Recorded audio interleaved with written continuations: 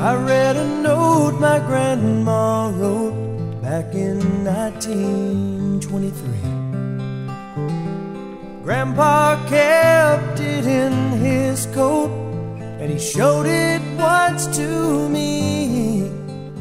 He said, Boy, you might not understand, but a long, long time ago, Grandma's daddy didn't like me none, but I loved your grandma so. We had this crazy plan to meet and run away together. Get married in the first town we came to and live forever. But nailed supposed to meet instead. I found this letter, and this is what it said. If you get there before I do, don't give up on me. I'll meet you when my chores are through. I don't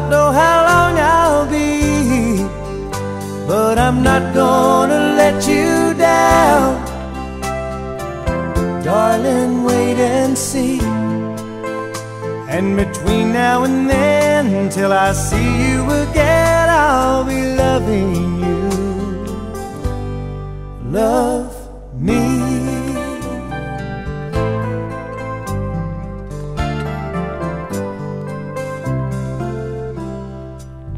I read those words just hours before my grandma passed away in the doorway of a church where me and grandpa stopped to pray.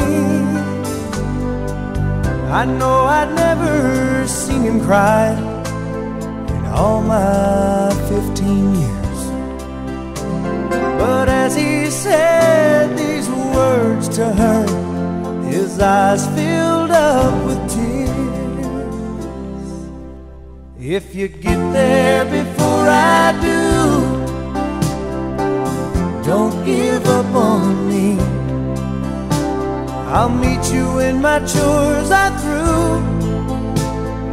I don't know how long I'll be, but I'm not gonna let you down. Darling, wait. Between now and then, till I see you again, I'll be loving you. Love me. Between now and then, till I see you again, I'll be loving you.